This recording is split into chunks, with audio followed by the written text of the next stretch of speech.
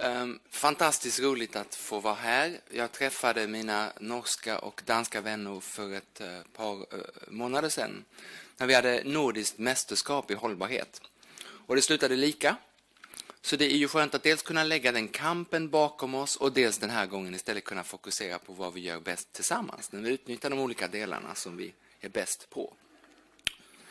Forest står för Forum for Reforms, Entrepreneurship and Sustainability och vi försöker se till att den här hållbara omställningen som vi behöver göra, att den blir både lönsam och morsom så att alla har lust att vara med på den. Det är vårt övergripande mål. Och eh, med oss har vi, nu hade jag behövt uppdatera den här igen, för senast igår var det något nytt företag som hakar på, men med oss har vi en väldig bredd av aktörer. Och många får inte ens ha med sina loggor, utan kommunerna, 36 kommuner, får dela på en logga på, på sliden så att de som ryms så de får dela på en stol på mötena. Men det är väldigt, väldigt roligt att se vilket tryck det nu finns. Det märker man också på uppslutningen på den här eh, tidiga frukosten, att det finns nu en väldigt, väldigt spänning inför omställning. Och när jag på armlängds avstånd följer diskussionen om vem som ska regera detta vackra land så är jag glad också att se att hållbarhets och klimatfrågorna så tydligt nu börjar komma med. Kanske inte det man allra först diskuterar, men sen kommer det nog vara ganska viktigt för hur man kommer vidare. Spännande att se.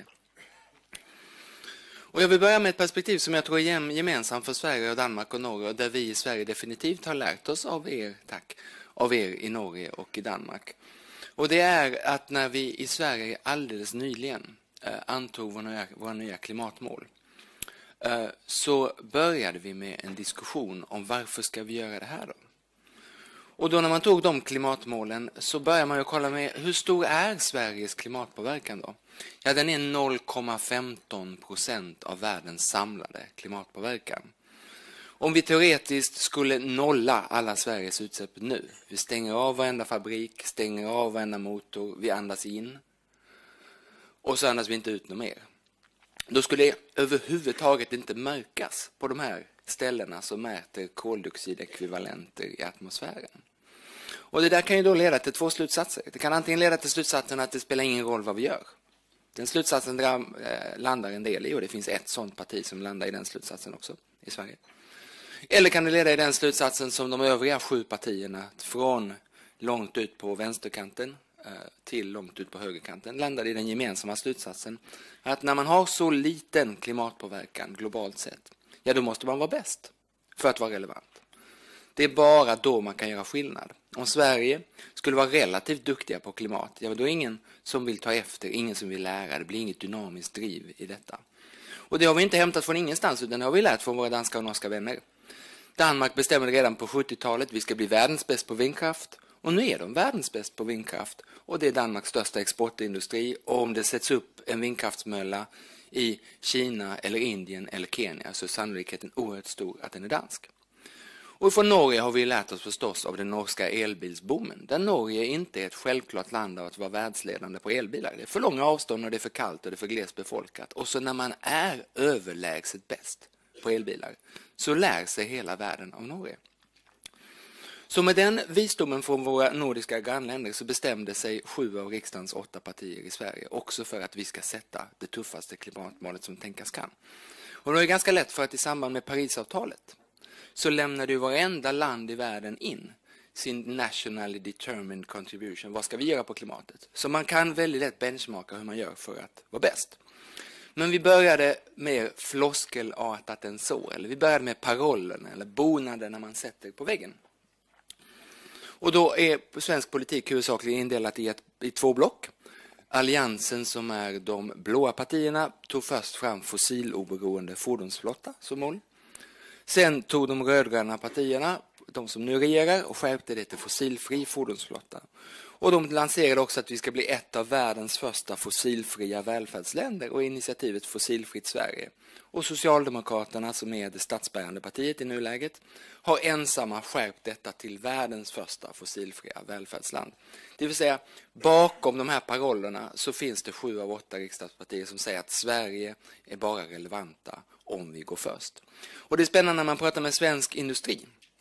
Vi, några av er kanske såg att Scania var en av loggorna där och då frågar vi Scania. Vi är ju ett litet och exportberoende land i Sverige. Är inte det dumt om vi går före på klimatområdet? Vi måste vara som de andra, det har vi hört från näringslivets representanter förut. Då säger Scania, vi måste vara först i Sverige om vi ska vara relevanta. 3% av Scanias bussar och lastbilar säljs i Sverige. Resten säljs i övriga världen. Det är en liten fjuttmarknad även för Scania. Och då säger Scania, bara genom att vara först kan Sverige vara relevant som marknad. I Södertälje, där Scania har sitt huvudkontor, rullar nu en kontinuerligt induktivt laddad elbuss. Ni behöver inte veta vad det är. Ni behöver bara veta att det lät svårt och att det var en. Men den var först i världen. Så när nu Kalifornien var på besök så såg de den där, körde med den och sa We want 250 of those. Och sen kommer Peking och sen kommer land efter land, stad efter stad. Och inget av det där händer.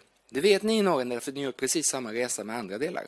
Inget av det där händer om man inte är först ut. Så näringslivet, från att tidigare ha sagt app, app, app, så säger de kom igen nu. Då är det det trycket som gör att sju av åtta partier står bakom detta. Det åttonde partiet fokuserar på att folk av annan hudfärg inte får vara i landet, så de är inte så relevanta i just detta. Och vilka klimatlöften blev det? Ja? Då ser ni där nere, sju av de åtta riksdagspartierna står bakom det jag nu nämner. Och det är väldigt bra därför att i Sverige började valrörelsen i praktiken igår när vi la eh, höstbudgeten för 2018. En valrörelsebudget och då är det bråk om nästan allt. Och det är rätt häftigt att säga att just på klimatområdet är det på det stora hela inte bråk därför att man är överens om målen. Till år 2030, de flesta av oss kommer att vara yrkesverksamma då, vi får följa upp detta, då ska Sverige ha minskat sin samlade klimatpåverkan med 63 procent jämfört med 1990. Till år 2030 ska Sverige ha nått vad vi kallar en fossiloberoende fordonsflotta med 70 procent minskad klimatpåverkan jämfört med 2010. Väldigt, väldigt bråttom. Och det är smart tänkt också att man kan inte vara världens bäst på allt. Det har vi lärt av Danmark och Norge. Man, kan, man ska fokusera. Vi fokuserar framför allt på fordonssektorn. 2045 Många av oss kommer också fortfarande vara yrkesverksamma då. Då ska Sverige ha netto noll i klimatpåverkan, vilket i praktiken betyder 85 procent minskade utsläpp. Och de sista 15, då ska vi buffra mer i haven. Det blir svårt därför att havet blir varmare och buffra sämre. Buffra mer i skogen. Det blir lätt därför att svensk skog växer. Och göra mer internationellt där vi hjälper andra länder på traven. Det blir också lätt ju bättre, lättare ju bättre vi är därför att då är fler som säger kan inte ni hjälpa oss. De klimatlöftena har vi kombinerat med en rad energilöften och där ser ni att det tyvärr bara är fem partier som är Men fem partier betyder ändå att det är från långt ut på vänsterkanten till långt ut på högerkanten. Och då säger man att år 2040, alla dessa årtal va, 2030, 2040, 2045. 2040 ska vi nå ett 100% förnybart energisystem. Väl att märka, inte elsystem, det är lätt, utan energisystem, det är svårt. Och så frågar man våra vänner i de här fem partierna, hur är det med kärnkraften då? Och så säger de, ja men inte kärnkraften förnybar. Den är visserligen inte fossil, men den är inte förnybar. Så 100% för, förnybart, då ingår inte kärnkraft. Och den här 50 där, ja men det är att per krona, norsk eller svensk, så ska energiåtgången halveras. Vi ska bli dubbelt så energieffektiva per krona. Det är, båda de här är i linje med EUs mål, men mycket tuffare och mycket snabbare än EUs mål. Som en liten randstat i EU så måste vi vara snabbare för att vara relevanta. Och så som en, en, en, fundering på, för jag tycker det mest spännande är inte att stå här och skryta över Sverige. Och i de flesta sammanhang är jag inte alls stolt över Sverige just nu. Men just på klimatområdet så reser jag på mig och säger, ja men det är ändå rätt bra det vi håller på att åstadkomma. Och det är rätt skönt att sju partier är överens. Då kan man gå till banken och säga, jag vill låna en miljard till en elväg eller två miljarder till en biogasanläggning eller tio miljarder till ett snabbtåg. Därför att jag vet vad som gäller val efter val efter val efter val. Viktigast är inte procentsiffrorna utan det viktigaste är Lucky Seven som jag har som en av sju av styrkorna för Sverige. Jag tänkte säga några saker jag tror Sverige kan bringa till bordet när jag hoppas vi ska samarbeta djupare på nordisk nivå som jag ser det här som en kick-off för. Men också var vi behöver hjälp. Och där ser våra styrkor. Jag vet att vi har folk här från norska oljesidan och det är ett fantastiskt jobb ni har gjort med att göra oljan mer hållbar. Men jag ser ändå att det har varit en styrka i Sverige att ha bara energibolag som minst lika gärna säljer förnybart vi kan göra i Sverige än olja vi inte kan göra i Sverige. Vi har också en historik av att vara det land i världen som först introducerade en koldioxidskatt och vi har världens högsta koldioxidskatt. Och det gör att industrin sedan årtionden tillbaks inte är väldigt rädda för åtgärder på energiområdet och på klimatområdet. Därför de har en historik av att det stärkte vår konkurrenskraft att tidigt tvingas skärpa sig. Sen till höger ser ni Sveriges långa kuster. Det är ju ett, ett fenomen vi delar med Norge och lång kust betyder väldigt goda möjligheter för mycket av den förnybara energi som vi vill åstadkomma. Det betyder att det egentligen är nästan till pinsamt att vi först i år äntligen har mer vindkraft än vad Danmark har räknat i terawattimmar. Men per person eller i del av energimixen har vi långt lägre. Och den kartan visar att det finns inget sakskäl till det. Och det andra ni ser där är en typisk bild på Sverige, hade också kunnat vara en typisk bild på Norge. Vi har mycket skog, vi har mycket vatten, vi har mycket billig el och mycket billig energi. Och det där är en blessing in disguise. Ibland är det bra att ha billig el och ibland försvårar det faktiskt en effektivisering som vi ser att vi behöver göra. Vi har sju partier som, som vi har i ryggen till detta arbete. Jag upprepar detta så mycket därför att det är själva nyckeln till framgång tror jag. Och som ni såg så har vi också ett sekretariat som samlar en coalition of the willing där folk får tillfälle att berätta att det här vill vi eh, stå för. Och det var tydligt att det gör skillnad igår när vi fick den här statsbudgeten därför att den organisation som nämns oftast i statsbudgeten när man kollar vad refererar de till är just detta 2030-sekretariat 17 gånger i budgeten. Men allt är ju inte bra i Sverige utan vi har ett antal, som jag tror, svagheter som vi går i ingångsvärden som är viktiga att förstå när man tänker på Sverige. Och säger man Sverige utomlands så säger folk ofta Björn Borg först och Volvo tvåa. Och detta Volvo har definitivt varit oerhört viktigt för den svenska identiteten. När man funderar på vad man ska göra i svensk industri och näringspolitik och erhvervspolitik, då stämmer man tidigt av med Volvo. Andra företag må vara nästan lika stora, men Volvo är riktmärkaren. Och tills ganska nyligen har Volvo varit inte de absolut mest pådrivande i omställningen till hållbarhet. Och det har betytt att den svenska politiken har heller inte varit den absolut mest pådrivande. Men med den budget regeringen la igår så förändras det från årsskiftet och från nästa halvårsskifte med mycket kraftfullare stöd till hållbar mobilitet. Och det vågar jag påstå beror ganska mycket på att vi nu har ett Volvo som i grunden ändrar sig. Ett Volvo med kinesiska ägare som säger att vi ser framtiden inom elektromobilitet. Vi slutar utveckla fossilbränslemotorer. Vi ser vartåt det barkar. Så Volvo som sådant ändrar sig. Men en Volvo-mentalitet där väldigt många fortfarande har för sig i både fackförbund och näringslivsorganisationer att det är besvärligt att gå före. Den mentaliteten ändrar man inte lika snabbt som det företaget som en gång stod för den mentaliteten. En annan som jag ser som svaghet, jag bodde nästan granne med Barsebäck förut, eh, atomkraftreaktorerna, är att det har naturligtvis när vi har mycket investerat, man kan säga vad man vill om kärnkraft, jag är neutral i kärnkraftfrågan som sådan. Men när man investerat väldigt mycket i en energiteknik, då är det svårt att på allvar komma och säga nu satsar vi på något annat, så länge den energitekniken upplevs fungera någorlunda väl. Där tror jag nästan alla svenskar kan enas om att det har varit ett hinder i omställningen. Sen får man tycka vad man vill om kärnkraften, det kan vi prata en annan gång om, men det har, det har gjort det långsammare i omställningsvägar i Sverige. Sen delar ju Sverige och Norge, men kanske inte Danmark så mycket, de stora avstånden. Och de stora avstånden är också mycket en mental barriär. De gör att när man tänker på elektromobilitet eller liknande så tänker man det går ju inte i Sverige. Det här är inte Holland med 10 mil mellan alla städerna utan vi har 120 mil upp till, till Kiruna och 60 mil från Stockholm ner till Malmö och den typen av avstånd äh, sätter sig igen mentalt och gör att mycket av de satsningar på smarta tekniska lösningar, allt från elbilarna till cyklarna och kollektivtrafiken, blir svårare. Det gör också att hela landet möts lite mer sällan och att man lite lättare tycker att det är storstaden, huvudstaden och bara bestämmer över oss. Så man måste ha med sig ett hela landet-perspektiv väldigt tidigt i utvecklingen. De stora avstånden är förstås också en fördel. Det gör att vi har mycket yta att göra spännande saker på, men mentalt har det varit ett hinder.